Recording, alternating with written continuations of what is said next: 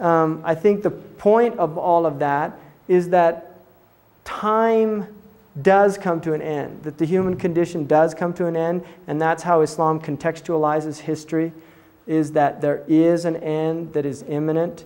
Um, again, I think for the individual person, the imminence of the end of time is always related to their own personal death. But there is an idea also. And then there's another important, I think, a very important idea within the Islamic tradition, and that is that each generation will be less, they will be fulfilling the idea of this dimensional Islam, of Iman, Islam, and Ihsan. They will not do it as well as the previous generation. That there is an idea that each generation is uh, a watered down version. There are periods of renewal historically, and the Prophet Muhammad did say that, that there would be renewers every hundred years or so. There would be people that come and renew. But the idea that it, it's not the same. I mean, I think the Muslims do have an idea, traditional Muslims anyway, that it's not so much progress, but quite the opposite. One of the things Rene Guénon pointed out about the rapid speed of progress, he said one of the things that we forget is increasing acceleration means going down, not up, right? That the idea of the modern world, and I think there's a lot of questioning now of the wisdom of the, you know, the idea, Bacon introduced the idea of progress because prior to that, the Christians did not have that idea within their worldview of that we are progressing. They had quite a different idea. And I think ultimately from the Muslim worldview and, and also from uh, other traditional worldviews, that the, you know, the, the same ethical issues that, that, that Plato is positing through Socrates, you know, what is justice? You know, how do we lead a good life? What is a good life? These things we have not come any closer, right, to really, you know, progressing in terms of our ethical nature, in terms of our spiritual nature. That although we have massive outward technology, uh, able to do extraordinary things, uh, bring the living back, bring the dead back to life, you know, uh, move mountains, quite literally despite that, we are still de- dealing with basic human tendencies such as greed, lust, envy, slothfulness.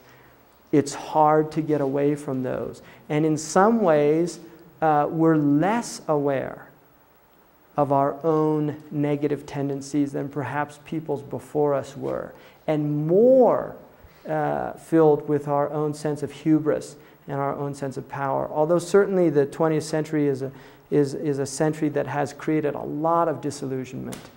You know, we've killed uh, 180 million people uh, this century alone in wars between human beings. And it's interesting that they weren't religious wars. They were ideological wars, you know, because one of the oftentimes critics of religion will point out, well, look how many people died in the name of, of religion. Well, look how many people died in the name of communism right? I mean, we forget that we're dealing with a human uh, species, that, that, that it's not, the religion is not the problem, man is the problem, right? And if there's a humanizing factor in the human condition, as far as I'm concerned, it has been uh, religion, that religion is what has introduced into the human uh, being concepts like making beauty, uh, concepts like becoming conscientious, charity, right? Uh, caritas, you know, these, these things, the kairos, all of these things are coming out of religious traditions. And the Muslims always say in the end, God knows best.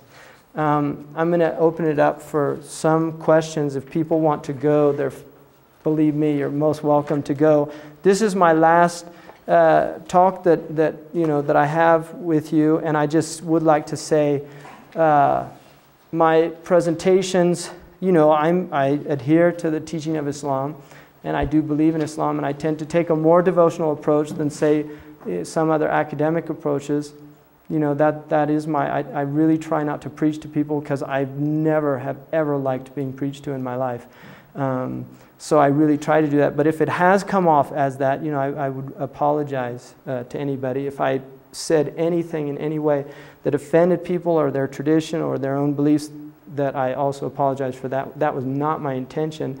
If that was the result, then I would just ask that I would be excused for that um, graciously. And then I would uh, also just like to say that this has really been a very uh, good and enriching experience for me. It always is. And uh, I've been appreciative of the fact Darul Islam has invited me back. But I would like to say this has been, a for me, a very good group. And, I, and I'm not just, you know, I didn't say that to the last groups. I really have enjoyed this group uh, personally. You know, I think you've all been just really uh, just a good group. And, and you're all teachers, so you know a teacher likes nothing better than having good students. And, uh, and so I've honored and uh, grateful that that's been the case. So, having said all that, I'll just say um, if anybody has any questions that I could answer or anything.